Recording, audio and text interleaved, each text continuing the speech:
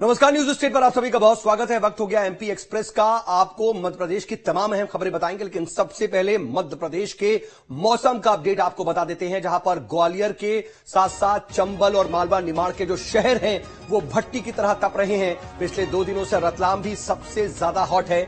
वहीं भोपाल, इंदौर में जो टेम्परेचर है, वो रिकॉर्ड स्तर पर पहुँच गया है, जबकि ग्वालियर, चंबल में भी लू का असर देखने को मिल रहा है। मौसम विभाग के मुताबिक आने वाले दिन भी राहत लेकर के नहीं आएँगे। 24 और 25 मई से पूरे प्रदेश में तेज गर्मी और बढ़ेगी। भीषण लू का अलर्ट भी जारी किया गया है। रतलाम में पारा 45 डिग्री के रिकॉर्ड पर भी पहुँच गया और लगातार दूसरे दिन रतलाम प्रदेश में सबसे ज़्यादा गर्म रहा। वहीं भोपाल और इंदौर, सीज़न में सबसे ज़्यादा हॉट रहे। भोपाल में 43.9 डिग्री और इंदौर में टेम्परेचर 43.4 डिग्री सेल्सियस दर्ज किया गया।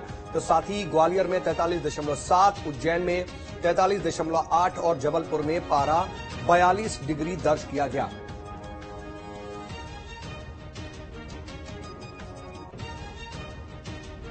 और इधर देखिए, मंदसौर में भी तापमान 44 डिग्री के पार पहुँच गया है। बढ़ते तापमान के बीच जो टेम्परेचर है, उसको बचाने की कवायद भी हो रही है। ट्रांसफार्मर को ठंडा रखने के लिए भी पंखे का इस्तेमाल हो रहा है। ट्रांसफार्मर को भीषण गर्मी से बचाने के लिए देसी कैसे देसी जुगाड़ अपनाया जा रहा है, वो भी हम आपको दिखाएँगे। और ये तस्वीर आपके सामने। ये देखिए ज़ाहिर सी बात है, ज़बरदस्त हीट की वजह से जो ट्रांसफार्मर है, वो भी जल जाता है। वो भी खराब हो जाता है और उसको भीषण गर्मी से बचाने के लिए कैसे देसी जुगाड़ अपनाया जा रहा है वो जरा देख लीजिए। बढ़ते तापमान से राहत के लिए लोगों को निर्बाध बिजली की ज़रूरत पड़ती है, लेकिन बढ़ता तापमान बिजली आपूर्ति में ही बाधा पैदा कर रहा है।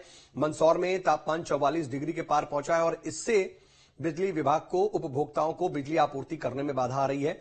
बढ़ते तापमान की वजह से ट्रांसफार्मर के जलने का भी खतरा बढ़ जाता है।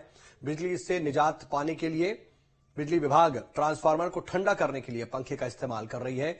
इससे उपभोक्ताओं को निर्बाध रूप से बिजली की आपूर्ति की जा सके।